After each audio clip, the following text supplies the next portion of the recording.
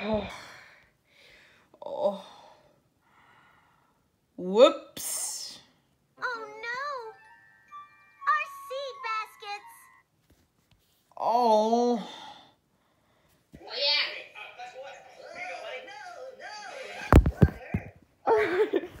A little hiccups are okay. It's being the big hiccups we have to worry about. I know. Yeah. Oh little hiccups are okay. It's being the big hiccups we have to worry about. Oh, oh, no! Thank you. Oh. You made a mess. Holy guacamole! Oh. Whoa! Did that a hurricane blow through here and I missed it? Hurricane, take cover!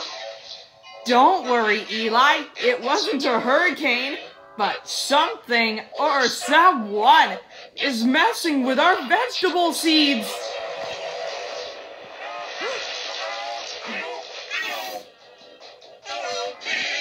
It's that pesky gopher again!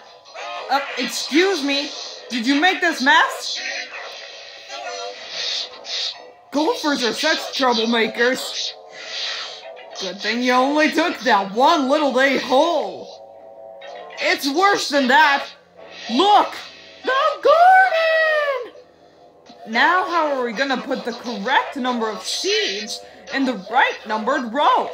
Don't worry, we can figure out how to fix it so we can plant all these vegetables for Mr. Rabbit.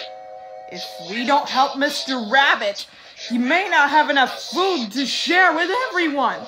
Ugh. There, row number one is ready. But, but which number comes after one? Uh, four or six, or something like that. Couldn't it be three? Silly kitty, it was, huh?